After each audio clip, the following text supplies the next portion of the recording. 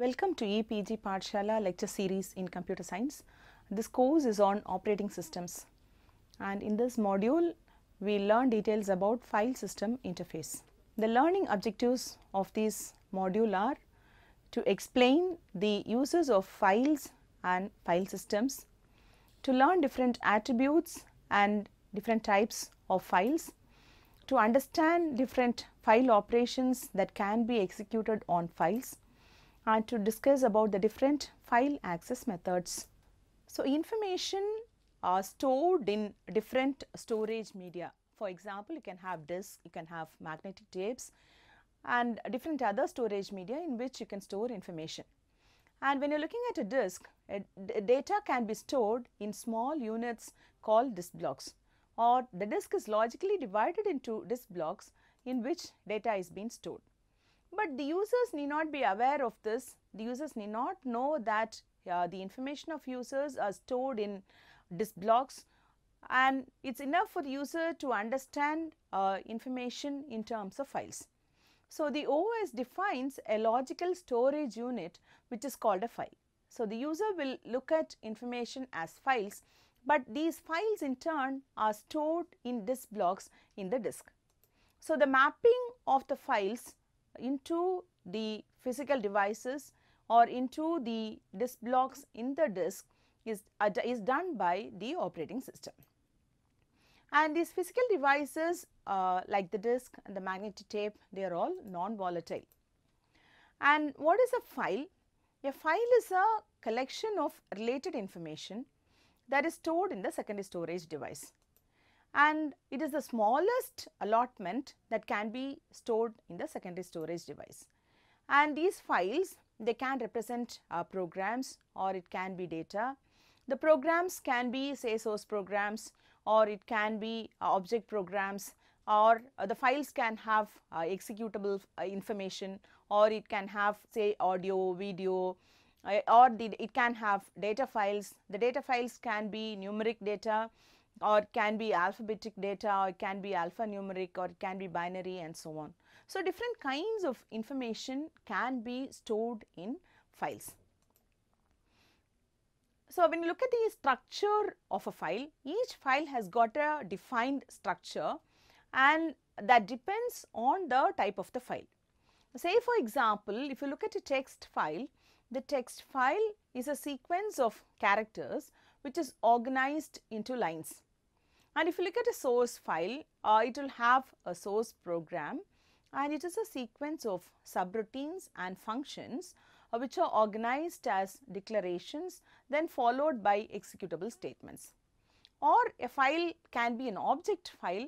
In an object file, uh, you can have sequence of bytes and these are all organized into blocks and it will be in a format that is understandable by the linker or the file can be an executable file where you have a series of code sections that the loader can uh, load into the memory and execute. So, what is a file system?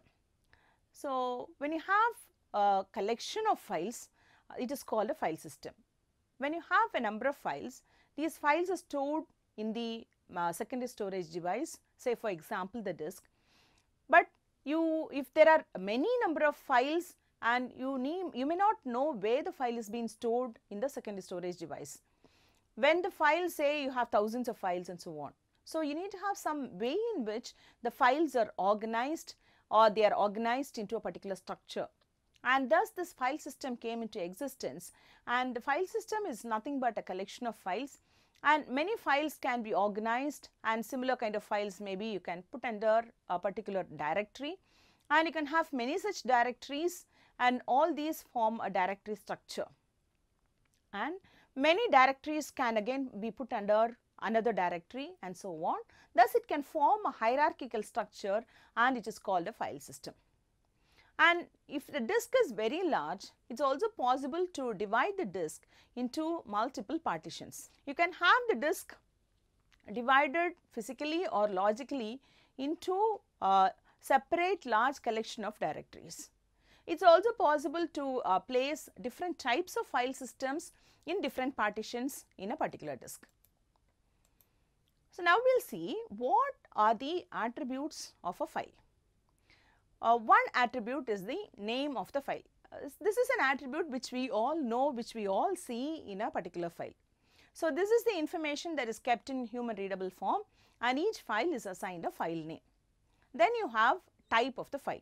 So, when you have systems that can support different types of files, each type of file is identified using a different extension. Say for example, we have machines where we store say .txt a text file or .doc which is a word uh, file or you can have uh, .xls and so on. There are different types of files and this is needed for uh, systems that support different types of files. And location, where is the file stored in the secondary storage device?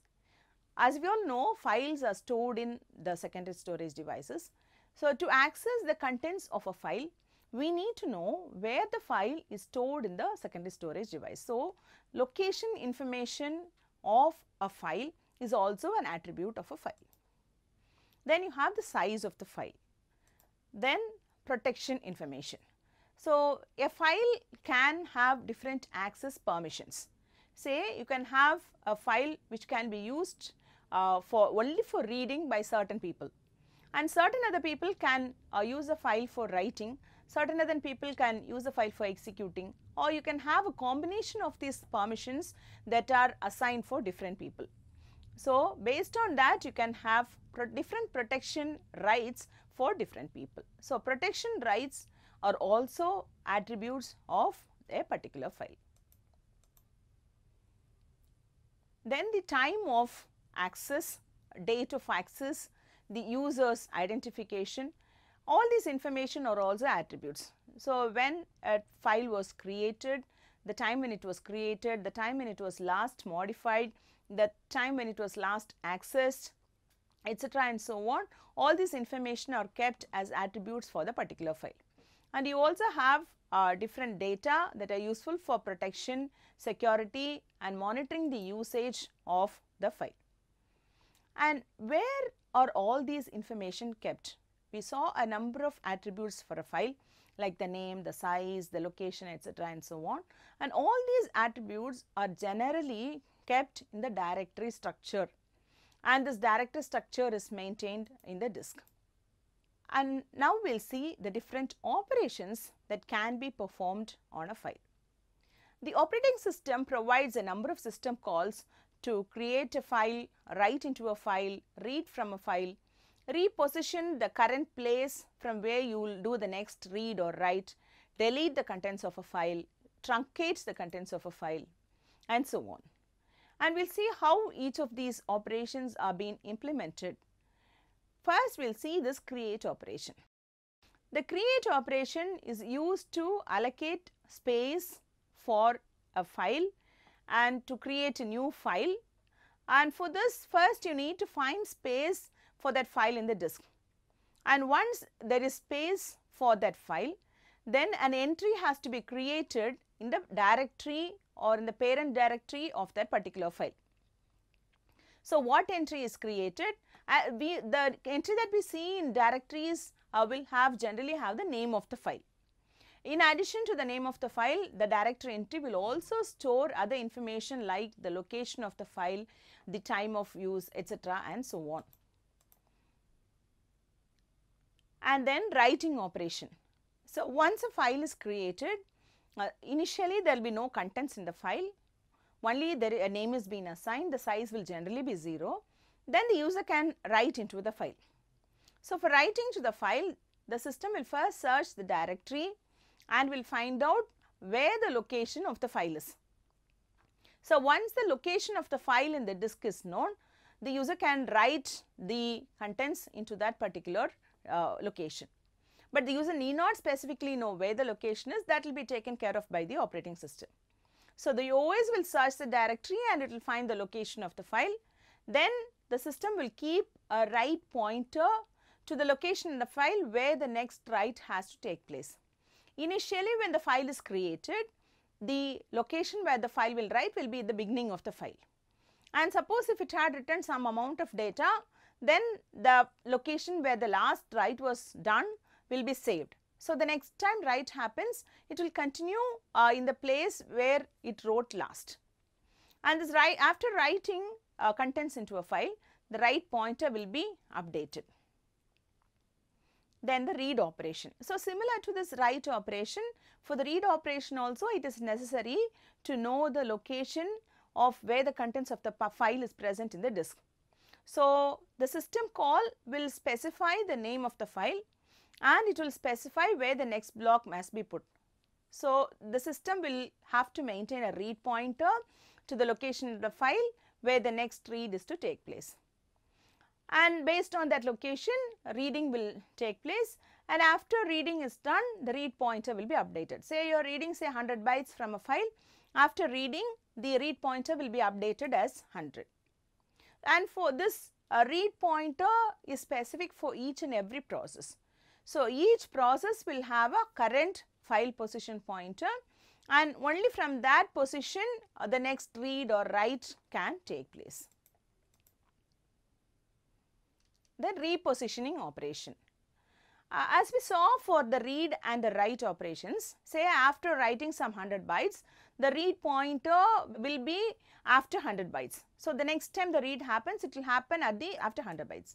Similarly, when you are writing also, say if you are written uh, say 200 bytes, the pointer will point after 200 bytes. So, the next time you write, it will write after that 200 bytes.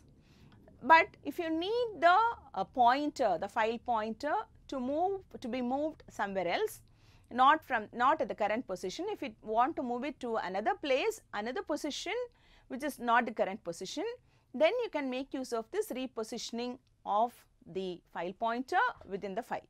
So, for repositioning, the directory is searched for the appropriate entry and the current file position uh, which will be set to the new given value. So, it will have already it will have a value where it had operated earlier but now since you want to change the file position to something else, it will be set to the new value. So, here no IO is needed. Actually, when the file repositioning within the file is done, nothing is changed within the contents of the file in the disk.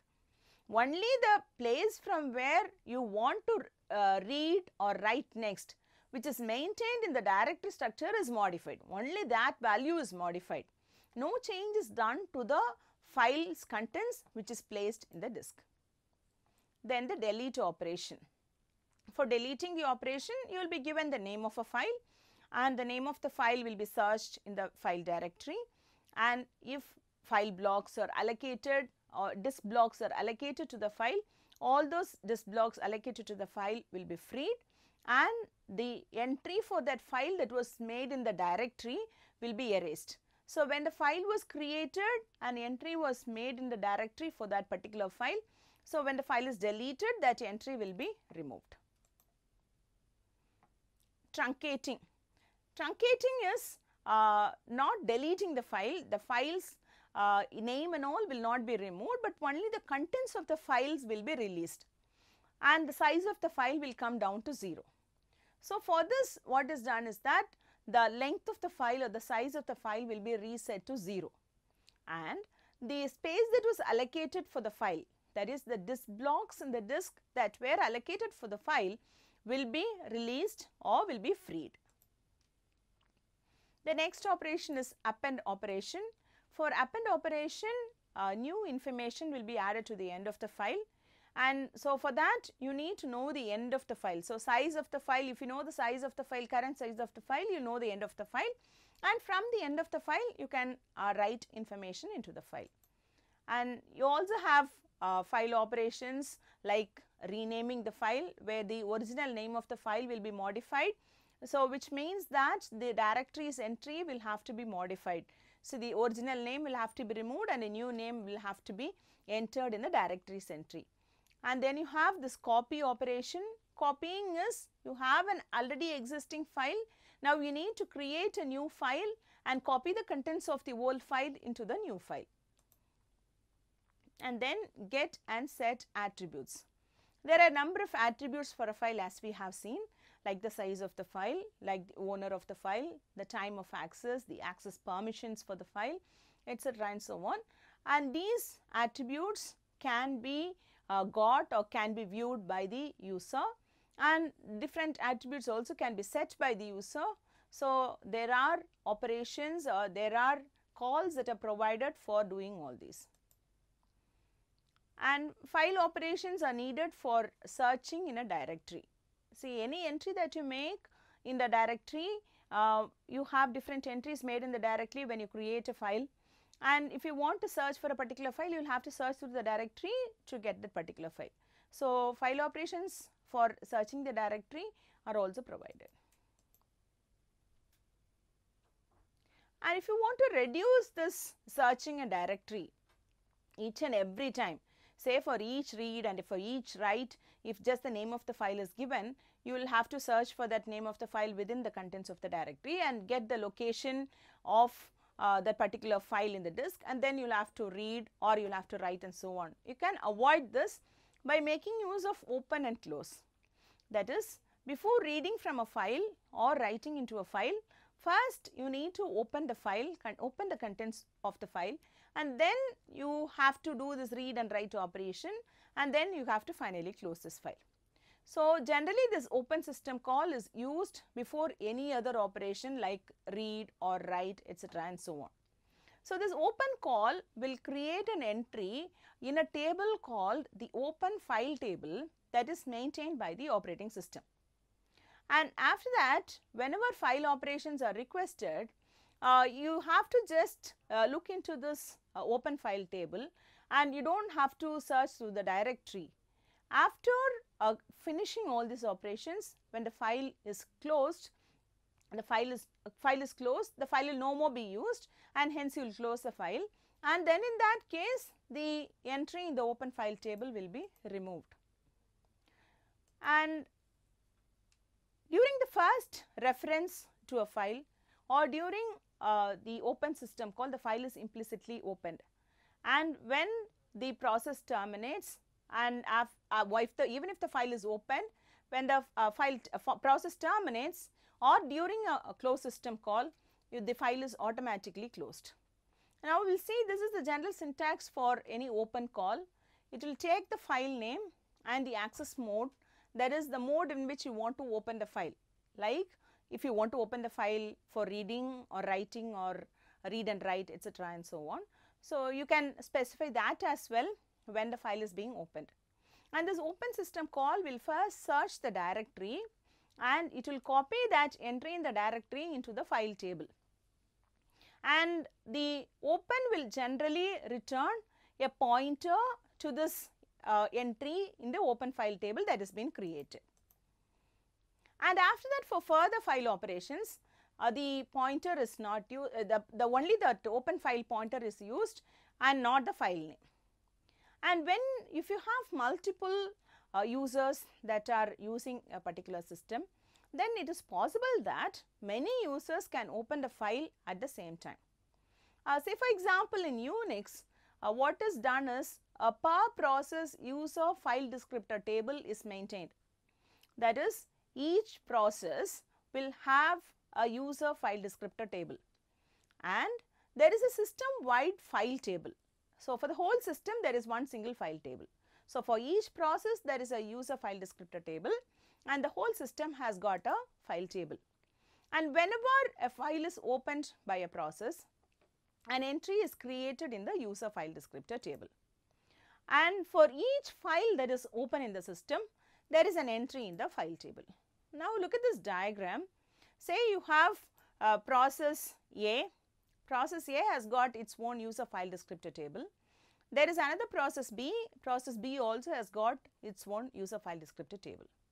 There is a file table, this file table uh, is a single table, there is a system wide table that is common to all the processes. And in the case of Unix, each file has got something called an inode. This inode has got information about all the attributes of a file. Say for example, details about the file are maintained in the inode for that particular file. So, what are the details that are maintained? The details will be like the owner of the file, the size of the file, uh, the access permissions for that file, the time of access for that particular file etc and so on, the size of the file and so on. You have the different attributes of the file, information about the attributes of the file being maintained in this inode. And there is an inode table corresponding to each and every inode. Now, suppose this process A, it opens a file. And then in that case an entry will be made in this user file descriptor table for process A. And that entry will point to an entry in the file table corresponding to this particular file say F1 and that will point to an entry in the inode table corresponding to that particular file F1. And this inode will also have information about the location in the disk where uh, the contents of the file have been stored. Suppose process B uh, also opens the same file F1. So, process B has got its own user file descriptor table and an entry will be created in the user file descriptor table for process B that will point to an entry in the file table and that in turn will point to the same entry in the inode table because uh, this points to the same entry in the inode table because it is the same file. F1 is the file that is opened by A as well as by B and hence uh, you have the pointer that the pointers uh, from the file table pointing to the same entry in the inode table. It is a single inode because details about this file F1 will be stored in a particular inode and it points to that entry in the inode table. But you can see here that the file table has got different entries. The inode table entry is the same for both the files and the user file descriptor table entries are also different for each of the processes. So, the as I told you the inode table has information about the physical location of the file or the disk blocks where the contents of the file are stored in the disk. And there is a count that is maintained in the inode table which is called an open count. This count will have the number of processes that have opened that file. In the example that we saw just now, uh, there are two processes A and B which had opened the same file. So, there will be a count which has got a value of 2 that is maintained in the inode table uh, which says that there are two processes uh, that have opened that particular file. And when say process A is uh, closing that file, the count will be decremented. The count in the inode table will be decremented and it will come to 1. And when process B also closes that particular file, the count again will be decremented and the count will come down to 0. See here you can see that process A and process B have opened opened file F1 and file table has got information about how this process A has opened or how process B has opened that file. Say for example, if process A has opened F1 in uh, read in read only pattern or it has opened the file for only reading and process B has opened the file only for writing and a pointer will be maintained here. This is the file pointer that is being maintained for process A and you also have the file pointer that is maintained for process B. And based on this pointer only the next read or write can happen for a particular file. So, for process B the next time it writes that it depends on the pointer value that you have here, the file pointer value that you have here, only at that position the writing will happen the next time. And A has open for reading. So, the next time say A wants to read, it will happen only at this pointer position that is maintained by this read write pointer. And since both the entries in the file table are pointing to the same entry in the inode table, the count here is maintained as 2 saying that 2 processes have opened this particular file. Suppose process A has closed, uh, process B has closed the file, then in that case this count here will be decremented from 2 to 1 and its entry in the file table will be removed and the entry in the UFD table will also be the pointer from here to the file table will also be removed. Suppose if process A also uh, closes the particular file then the count here will become 0 and here the pointer from the file table to the inode table will be removed, the pointer from the EOFD table to the file table will also be removed. So, if the count becomes 0, this entry also can be removed from the inode table. So, thus we have seen how uh, opening and closing and reading and writing can be done using this user file descriptor table, file table and inode table. Now, coming to the next aspect related to files, uh, there are different types of files that are supported in different systems. Say it can, can have executable files and it can have different types of extensions like exe.com etc and so on. So, you can have object files, you can have source code. If it is a source code then depending on the type of language that is being used the extensions will be different. You will have a .c or a .cc or .java etc and so on. Different types of extensions based on the different languages. You can have a batch file where the extension can be .bat or you can have uh, a text file, you can have word processor files, you can have uh, library files, you can have uh, files uh, which you can uh, zip together or you can compress and you can maintain or uh, you can have uh, archive files, you can have multimedia files etc. and so on. So, there are uh, different types of files that are supported by different systems. So, to differentiate between the different types, different extensions are given. Now, we learn different file access methods that is files are stored in disk so, different ways in which you can access the files. What are the different ways in which you can access the files?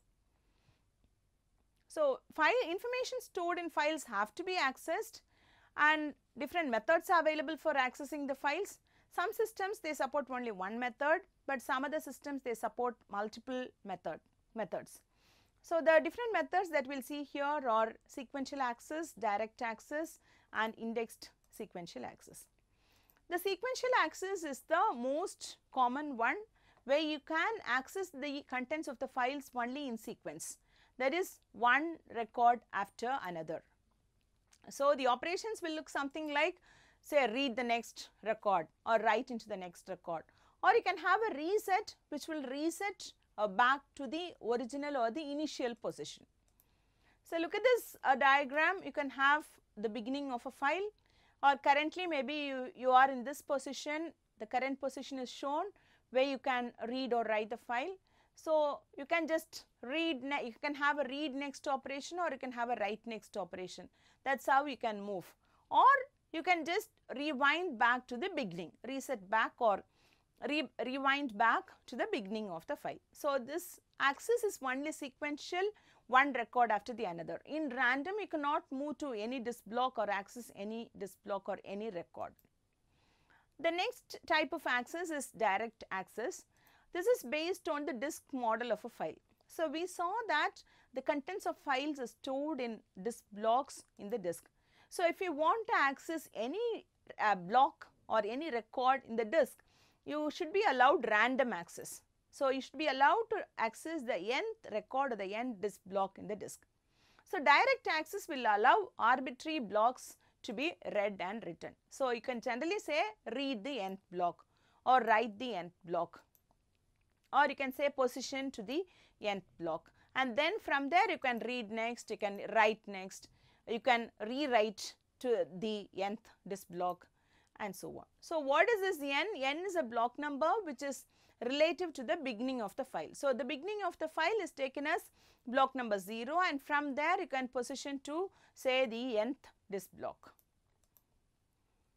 So, if you want to simulate sequential access on a direct access file, then reset is very similar to moving the current pointer from where you are reading to 0. So, if the uh, current pointer is moved to 0 then it is similar to reset in sequential access. If you want to read the next block in sequential access that is very similarly you can do that in direct access like read the current position and then from the current position you increment the current position to current position plus 1. Similarly for writing also writing the next is write the current position and then increment from current position to current position plus 1. So, you can simulate sequential access also on a direct access file, but direct access cannot be simulated on a sequential access file. It is also possible to have other access methods. Uh, one is to have an indexed kind of an access where you build an index which will have pointer to various blocks and this index will give details about the different blocks in which the files contents are being stored. So, to find a record or to you need to just search the index, use a pointer to access the file and then and the desired record. So, uh, you just have to search through the index to find the contents of the file or to locate the contents of a file. But when the file size becomes very large, say if the number of blocks in which the file is being stored is very large, you have more number of blocks in which the file is being stored, then in that case the index file also will become very large. So, you may have to provide another index for this index file. So, you can have a primary index file which will have pointers to the secondary index files and the secondary index files in turn can point to different blocks. So, this is an example that is shown you can have an index file which has the logical record number which in turn points to the record in the file. So, the summary of uh, the uh, information that you had learnt in this class are we learnt what is meant by a file. A file is nothing but a basic unit of storage in the disk and the disk is logically divided into disk blocks and the contents of the file are stored in disk blocks in the disk. A file can have a number of operate attributes, a, a number of operations can be performed on files. There are different types of files and it is possible to access the files using different methods. We saw the sequential access, the direct access and the indexed sequential access. References. Thank you.